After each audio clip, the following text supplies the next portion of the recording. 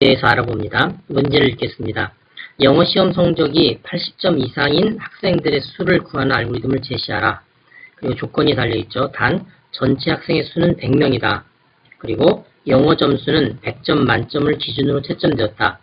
그리고 영어 점수는 배열 변수 점수 괄호 열고 100에 이미 저장되어 있다고 가정한다. 이렇게 되어 있습니다. 자, 영어 점수가 100점 만점인데 그 중에서 80점 이상인 학생들이 몇 명인지를 계산해서 찾아서 찍어주는, 출력해주는 그런 알고리즘이 되겠습니다. 자, 보시면 음, 점수 1차원 음, 배열이죠. 점수 100에 대해서 그림처럼 나타나 있죠.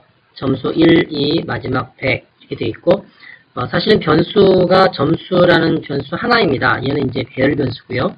각각의 원소를 1, 2, 3 일반적으로 i, 100 이렇게 접근을 하게 되는 거죠. 그래서 이제 이 각각의 점수가 만약 80점보다 크면 어, 이때 카운트의 이 변, 어, 변수 값을 하나 증가시켜주면 어, 전체 80점 이상인 학생들의 숫자를 계산할 수 있게 됩니다. 자, 밑에 부분에 보시면 그림이 하나 있습니다. 점수, i번째 점수가 80보다 크거나 같으면, 같으면, 카운트는 카운트 플러스 1 이렇게 되고요.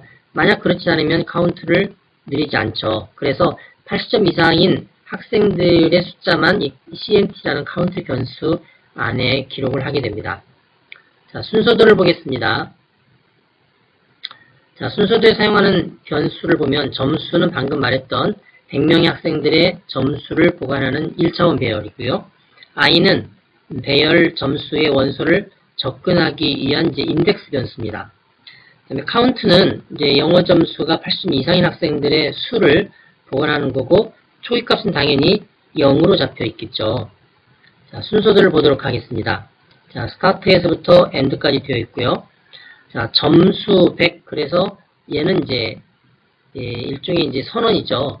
어, 배열 변수 어, 점수를 선언하고 있고 어, 배열 변수의 원수는 전부 100개다라는 뜻이 됩니다. 자, 초기값을 정합니다. 카운트는 0 그리고 i는 1. 이 i가 이 반복 구문 하는 데 있어서 중요한 이제 배열 변수로 사용이 됩니다. 반복, 반복 변수로. 그래서 i는 1부터 첫 번째 학생부터 시작하는데 어, 점수 i, i번째 학생의 점수가 80 이상이면 80보다 크거나 같으면 카운트가 하나 증가합니다. 카운트는 카운트 플러스 1. 그렇지 않으면 증가하는 과정이 없죠. 그러고 나서 이제 그 다음번 학생을 하기 위해서 i는 i 플러스 1 이렇게 되는 거죠.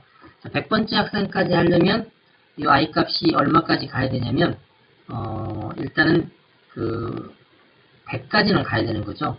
어, 100까지는 가서 100인 경우에 넘어와서 점수 100, 100번째 학생의 점수가 80점 이상이냐 이거 체크해야 되기 때문에 결국 이 반복을 다 끝내려면 i 값이 101인 경우에 끝나야 됩니다.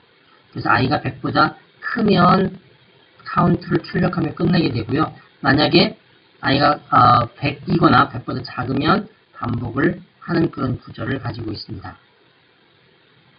자, 디버깅 표를 보시면 여기에 이제 검은색 원본호 1, 2, 3, 4, 5, 6, 7, 8 이렇게 되어 있죠.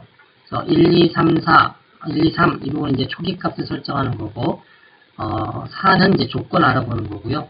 5번하고 6번은 이제 값이 갱신되죠. 카운트 값, i 값이 갱신이 되고 7번은 이제 계속 반복할지 말지를 따지는 또 조건 수식이 나오는 거죠. 자, 그래놓고 봤을 때 카운트 변수는 초기값 0이고요. i도 초기값 1입니다. 자, 이렇게 이제 놓고 봤을 때, 그, 여기에서 말하는 이제 점수, 어, 점수 i가 80보다 크거나 같으냐 하는 부분을 비교, 비교, 비교했을 때, 그 다음에 5번이나 6번이 진행되는 거죠. 그래서 5번에서는 이제 현재 값이거나 카운트가 없는 경우에 또는 80보다 어, 이상인 경우, 이상인 경우는 1이 증가하는 거죠. 현재 값이거나 1이 증가하거나 하는 부분이 이제 계속 반복이 되고요. 이 경우에 이제 i 값도 계속 증가하죠. 1, 2, 3, 4에서 100, 101.